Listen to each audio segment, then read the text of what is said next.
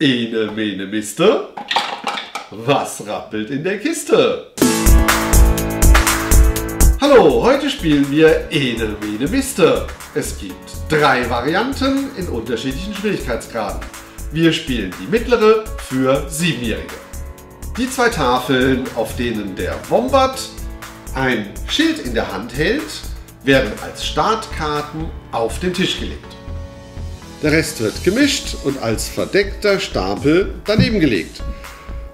Ene mene miste, was hat der Wombat in der Kiste? Du nimmst die oberste Karte vom Stapel und legst sie offen neben die anderen beiden. Nun spielen alle gleichzeitig.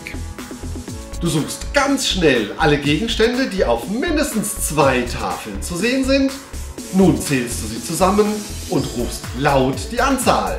Hier zum Beispiel ist die Birne und die Banane auf mindestens zwei Tafeln zu sehen. Alle anderen Gegenstände sind immer nur auf einer Karte.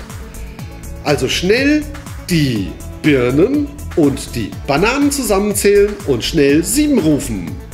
Jeder darf nur einmal rufen.